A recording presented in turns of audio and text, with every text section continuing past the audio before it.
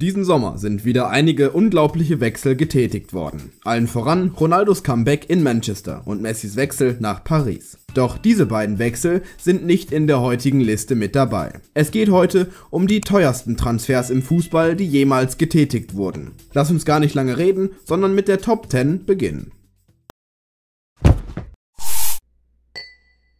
Auf Platz 10 befindet sich Eden Hazard. Als Real Madrid ihn 2019 von Chelsea abgekauft hat, bezahlten sie ganze 115 Millionen Euro.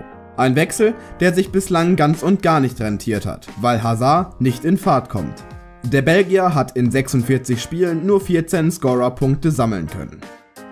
Auf Platz 9 haben wir wieder einen Belgier. Diesmal ist es Romelu Lukaku.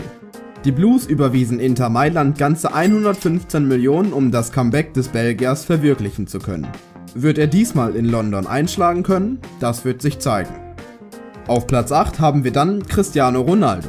Dabei ist aber nicht sein Wechsel zu Manchester United, sondern sein Wechsel zu Juventus Turin so teuer gewesen.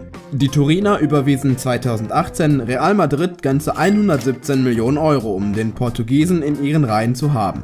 Nun, drei Jahre später, hat er den Verein im Alter von 36 Jahren wieder verlassen. Den ganz großen Sieg mit dem Champions League-Titel konnten sie nicht erreichen. Auf Platz 7 haben wir wieder einen frischen Wechsel aus diesem Sommer. Die Rede ist von Jack Grealish, für den die Citizen ganze 117,5 Millionen Euro auf den Tisch legten. Ungefähr zeitgleich mit diesem Wechsel gingen Messi und der FC Barcelona getrennte Wege.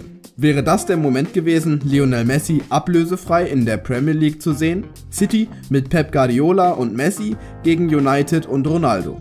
Doch nun haben sie Jack Grealish verpflichtet und wir werden sehen, wie er sich schlagen wird. Auf Platz 6 haben wir Antoine Griezmann. 120 Millionen Euro haben die Katalanen für den Franzosen auf den Tisch gelegt, doch es hat sich nicht rentiert. Nach nur zwei Jahren hat er Barca wieder Richtung Atletico Madrid verlassen. Mal schauen, ob er dort wieder zur alten Stärke findet. Auf Platz 5 haben wir einen Wechsel von Atletico Madrid. Die Rede ist diesmal von Joao Felix. 2019 überwies Atletico für den damals 18-jährigen Felice unglaubliche 127,2 Millionen Euro an Benfica. So ganz konnte er die Erwartungen bislang leider nicht treffen. In 76 Partien netzte er 19 Mal selbst und legte 9 Treffer vor. Auf Platz 4 kommen wir dann zu Usman Dembele. Als er von Dortmund zu Barca wechselte, bekam Dortmund ganze 135 Millionen Euro aufs Konto. Während er in Dortmund alles kaputt gespielt hat, konnte er im Barca-Trikot nicht so wirklich in die Fußstapfen von Neymar treten.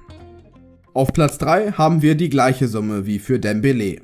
135 Millionen überwies Barca, nämlich im gleichen Jahr auch noch für Philippe Coutinho.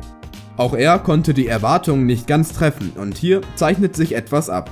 Griezmann, Dembele und Coutinho Drei der teuersten Transfers, die jemals getätigt wurden, sind von Barca und es sind drei Wechsel, die bislang nicht wie erwartet aufgegangen sind. Auf Platz 2 haben wir Kilian Mbappé. Nachdem er in Monaco überzeugt hatte, bezahlte PSG ganze 145 Millionen Euro, um ihn zu verpflichten. Auch wenn der Champions League-Titel bislang nicht gewonnen wurde, stehen die Chancen mit dem diesjährigen Kader ganz gut. Wie es scheint, verlässt Mbappé aber nächste Saison nach vier Jahren PSG und sein neuer Arbeitgeber wird aller Wahrscheinlichkeit nach Real Madrid. Und auf Platz 1 dieses Rankings haben wir Neymar. Nachdem er im Barca-Trikot und vor allem im MSN-Trio überzeugte, bezahlten die Pariser ganze 222 Millionen Euro und brachen schon 2017 diesen Rekord.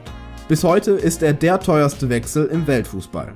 Der mittlerweile 29-jährige Neymar hat seinen Vertrag bis 2025 bei Paris verlängert und möchte dieses Jahr sicherlich die Champions League mit Paris gewinnen. Als Unterstützung dafür haben die Paris-Verantwortlichen ordentlich etwas dazu eingekauft.